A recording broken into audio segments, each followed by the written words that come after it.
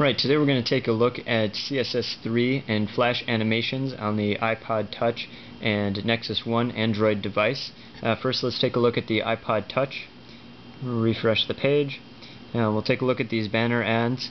Notice that the car um, pops up, the text fades very nicely, and in the bottom animation um, the bar moves across very smoothly, the text fades in. Overall these are looking great. Uh, I'm going to refresh the page again and show you the one on the bottom. Um, the car slides in from the right. The text has a sheen that goes across it. Um, overall, this is looking great. It has a GPU acceleration on the iPod Touch uh, for CSS3, so it's expected that these would um, perform very well.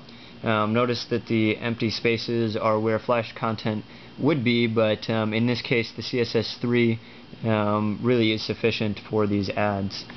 So let's take a look at the Android device uh, Google Nexus 1 with these same ads. Uh, I'm going to refresh the page.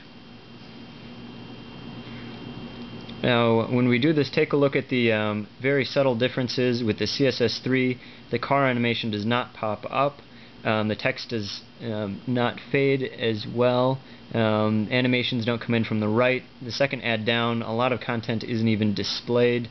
Um, the bottom ad has text and we'll re refresh that and take a closer look at this bottom ad. And refresh. And the bottom ad has text that isn't even displayed due to a um, background that isn't fully transparent. You see that sheen come over and um, this ad just isn't isn't really um, working as expected in CSS3 compared to Flash.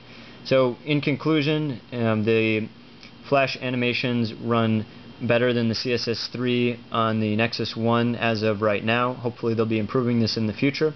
Um, but on the iPod Touch, CSS3 for simple animations is um, definitely a, a, great replacement um, to Flash, um, again, for the um, iOS devices.